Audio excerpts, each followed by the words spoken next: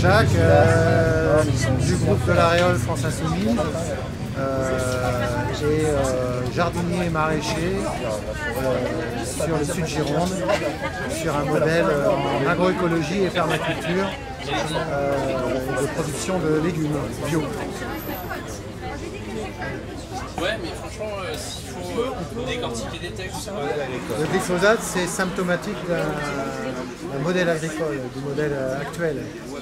C'est euh, c'est pas tant le produit en lui-même qui pose, euh, qui pose question, c'est toute la logique qui va avec. Euh,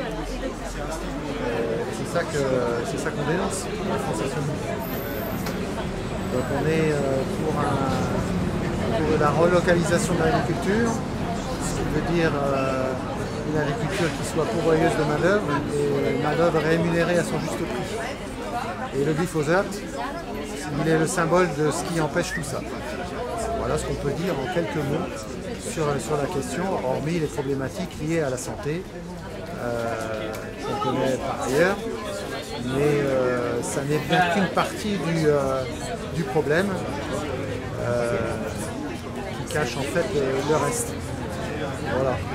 Je pense que la, la puissance publique, elle doit aider justement les, les producteurs à, à sortir de ce système et non pas les- pousser plutôt à rester dans le système. Comme la, la PAC distribue l'argent, euh, quelle que soit la, production.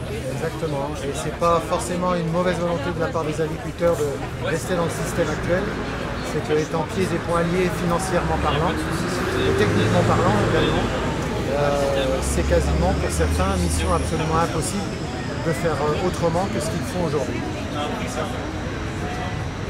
Donc effectivement, ça va être aider à, à réorienter les choses.